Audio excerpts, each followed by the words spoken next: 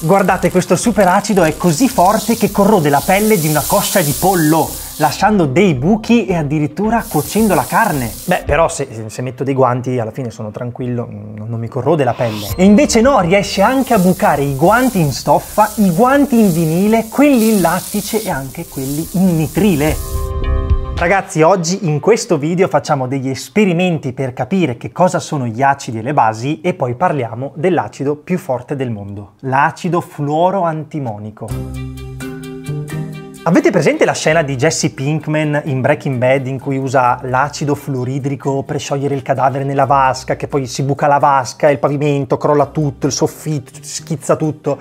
Beh, in realtà l'acido fluoridrico da solo non è né così acido né così corrosivo da sciogliere un corpo umano. Ma se invece mescoliamo l'acido fluoridrico con il pentafluoruro di antimonio, otteniamo un acido davvero corrosivo e pericoloso, l'acido fluoroantimonico. Ragazzi, è aperto il canale Geopop su WhatsApp. Seguiteci anche lì perché pubblichiamo dei video improvvisati, magari qualcosa dietro le quinte che magari qua su YouTube non riusciamo a pubblicare. Quindi iscrivetevi al nuovo canale e torniamo al video. Ora, cosa sono questi fumi bianchi che si vedono quando entra a contatto col pollo? sono fumi tossici? E poi se guardiamo bene, la, la carne sembra tipo cotta, cioè cos'è? L'acido cuoce la carne? Allora, andiamo con calma. Prima di rispondere a queste domande, facciamo degli esperimenti. Andy passa.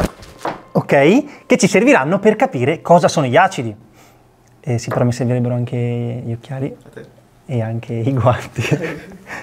Grazie, gentilissimo. Andy, se ti dico acido, a cosa pensi? A qualcosa di corrosivo, tipo che so, qualcosa che si scioglie, mm. una cosa forte. Allora, in realtà acido non è necessariamente corrosivo, ok? Ad esempio il succo di limone è acido, anche l'aceto è acido, però non è che dobbiamo avere paura di queste cose, giusto? Ecco. Infatti le sostanze chiamate acidi si chiamano così perché se le sciogliamo in acqua si ottiene un pH minore di 7. Facciamo un esperimento. Dena, che cos'è tutta questa roba? Allora, qua abbiamo un po' d'acqua, qua abbiamo una sostanza bianca che adesso sciogliamo all'interno dell'acqua e poi valutiamo il pH della soluzione con una cartina tornasole.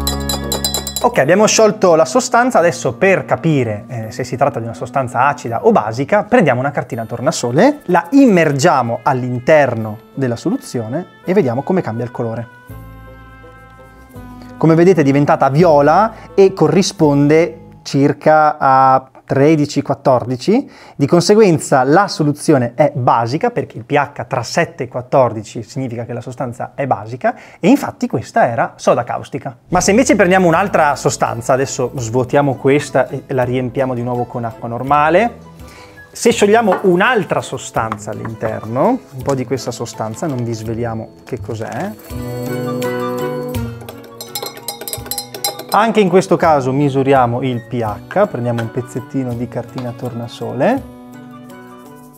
Come vedete si è colorata di rosso, che corrisponde, arancione rosso che corrisponde a un valore di 2 circa, e essendo un valore compreso tra 0 e 7 abbiamo ottenuto una soluzione acida. Infatti quello che abbiamo sciolto era acido tartarico. Se invece misuriamo il pH dell'acqua normale, cosa succede? In realtà questa è acqua distillata, ma se volete abbiamo fatto un video sull'acqua distillata. Misuriamo il pH dell'acqua distillata, come vedete è a pH circa 5-6 leggermente acida. Se volete sapere perché è leggermente acida l'acqua distillata abbiamo fatto un video riguardo. Bene, abbiamo capito che cos'è la scala del pH. Esistono però degli acidi molto più forti dell'acido tartarico, come ad esempio l'acido solforico. L'acido solforico in realtà non si trova in natura, si produce in laboratorio a partire dallo zolfo e si usa nei laboratori di ricerca ma anche ad esempio per produrre fertilizzanti. Ecco, l'acido solforico diciamo è l'acido normale più forte. Tutti gli acidi più forti dell'acido solforico, come il nostro acido fluorantimonico, vengono chiamati superacidi. Per questi acidi non si può più utilizzare il pH come scala, ma si deve utilizzare un'altra scala chiamata scala di Hammett o funzione acida di Hammett. Anche qui, come per il pH, più basso è il valore e più forte sarà l'acidità. Pensate, l'acido solforico puro nella scala di Hammett ha un valore di meno 12, mentre l'acido fluoroantimonico ha un valore di circa meno 28. Ciò significa che è 10 milioni di miliardi di volte più forte dell'acido solforico. E con questo si aggiudica la nomea dell'acido più forte del mondo. Attenzione però perché la parola acido non va confuso con corrosivo. Con corrosivo infatti si fa riferimento alla capacità di una sostanza di degradare un solido, come ad esempio un metallo o la carne del pollo. Con acido invece si fa riferimento ad un aspetto un po' più chimico, dobbiamo entrare a livello nanoscopico. Un acido è una sostanza che ha la capacità di donare H+, tipo HCl cede H a una molecola d'acqua. L'HCl quindi è un acido e infatti si chiama acido cloridrico, quello del nostro stomaco. Ed è per questo che si chiama pH H è una scala che ci dice quanti H più ci sono in acqua. Ma torniamo alla nostra coscia di pollo. Rispondiamo alla prima domanda. Che cos'è questo fumo bianco che si forma quando viene versato? In pratica l'acido è così instabile che si decompone facilmente e produce dei fumi di acido fluoridrico. Quindi quei fumi bianchi lì sono acido fluoridrico e sono estremamente tossici. Passiamo alla cottura. Effettivamente l'acido fluoroantimonico cuoce la carne di pollo, ma chiaramente non è la stessa cosa che cuocerlo al forno. Però a livello molecolare quello che succede è la stessa cosa. Il calore o gli acidi è come se strizzassero le proteine. In chimichese si dice denaturare le proteine. Strizzandosi quindi perdi tutti i succhi della carne ed è per questo che la carne troppo cotta risulta secca e stopposa. Quindi anche gli acidi cuociono la carne. Ecco, questo comunque non è l'acido più corrosivo, è l'acido più forte dal punto di vista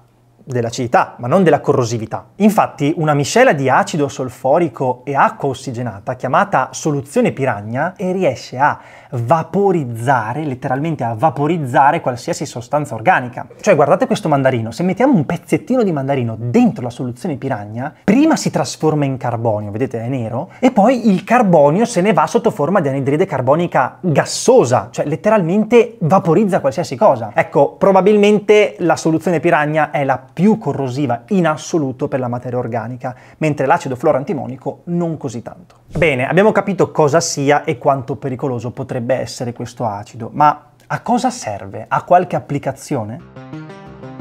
A livello industriale l'acido fluoroantimonico non ha così tante applicazioni, mi sembra anche abbastanza ovvio il perché.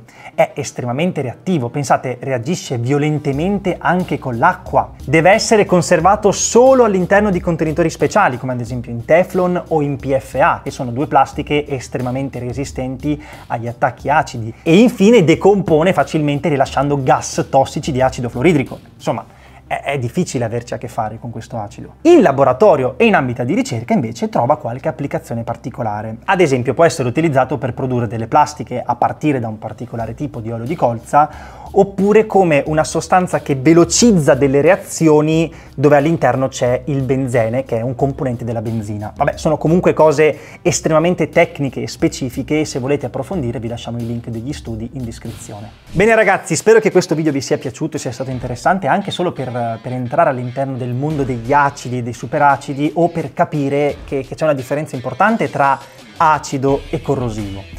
Ad ogni modo, grazie mille per aver guardato questo video e noi come sempre ci rivediamo qui su Geopop, le scienze nella vita di tutti i giorni. Alla prossima!